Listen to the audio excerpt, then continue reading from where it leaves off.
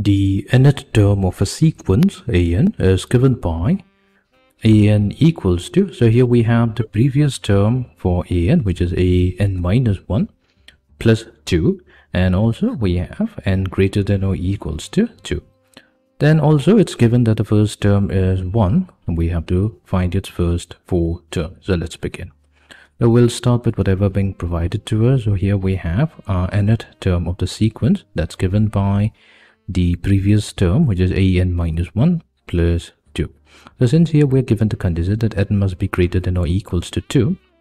So that means we'll start with the value n equals to 2 which is going to give us a in place of n we'll have 2 a equals to a 2 minus 1 plus 2 so that means we have a 1 plus 2 we are also being provided with the value of the first term which is equals to 1 so that means we have 1 plus 2 that's equals to 3 so this is the value of our second term. Now we will obtain the value for n equals to 3 which is going to give us the third term. We have a3 equals to a3 minus 1 plus 2 which is equals to a2 plus 2 uh, we have already obtained the value of a2 which is 3 so we have 3 plus 2 and this is equals to 5 so we have obtained the third term as well. Let's obtain the fourth term for this. We will consider n value to be equals to 4 that means we now have a4 equals to a of 4 minus 1 plus 2 which is a of 3 plus 2 equals to so a3 value that's 5 so we have 5 plus 2 this is giving us the value 7 so that means our first four terms of the sequence will be we have our first term which is 1 followed by the second term which is 3 then we have the third term which is 5 and finally the fourth term that's 7 so this is the sequence which is represented by a and equals to a n minus 1 plus 2 problem number 2 now the nth term of a sequence is given by we have an equals to 3 times. So we'll have the previous term of an which is an minus 1 plus 2 so here we are given the condition that n value will be greater than 1 and we are also provided with the value of our first term a1 which is equals to 3 we'll have to obtain the first four terms so let's start with our second term which will be n equals to 2 and that means we have so we'll put the value of n equals to 2 in this given sequence an so we have a2 equals to 3 times a2 minus 1 plus 2 which will give us the value 3 times a1 plus 2 we are provided with the value of our first term which is 3 so we have 3 multiplied to 3 plus 2 so 3 times 3 is 9 9 plus 2 that's 11 so we have obtained our second term. So let's obtain the uh, third term which will be for n equals to 3 so that means we will now have a3 equals to 3 times a 3 minus 1 plus 2 which will give us the value 3 times a2 plus 2 which will be equals to 3 times the value of a2 that's 11 so we have 3 times 11 plus 2 which will be equals to 33 plus 2 which is equals to we have 33 plus 2 that's 35 and let's find out the fourth term which will be for n equals to 4 we'll now have a4 equals to 3 times a of 4 minus 1 plus 2 which will be equals to 3 times a3 plus 2 equals to 3 times what's the value of a3 we have obtained the value of a3 is 35 so we 3 times 35 plus 2 and 3 times 35 will be so we 3 times 5 that's 15 uh, 3 times 3 is 9 9 plus 1 will be 10 we have 105 plus 2 that will be 107 so here we have obtained the sequence. So our first term will be the first term of the sequence, that's 3.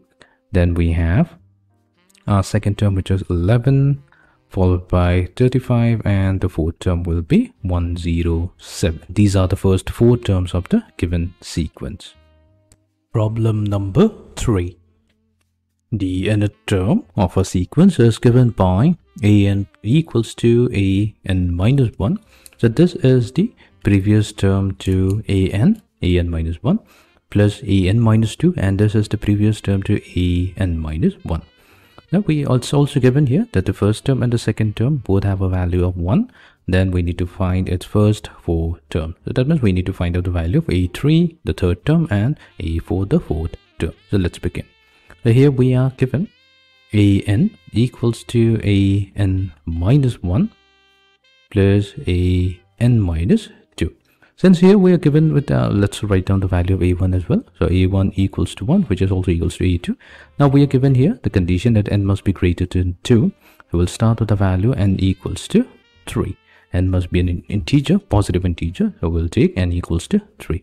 So this means that we have a3 equals to a3 minus 1 plus a3 minus the a3 minus means we have a2, the second term, plus a3 minus 1 means a1, which is the first term.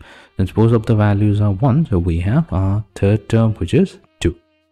Now we will go to n equals to 4, and this is going to give us the fourth term. So a4 will be equals to a4 minus 1 plus a4 minus 2. So this will be equals to a3 plus a2.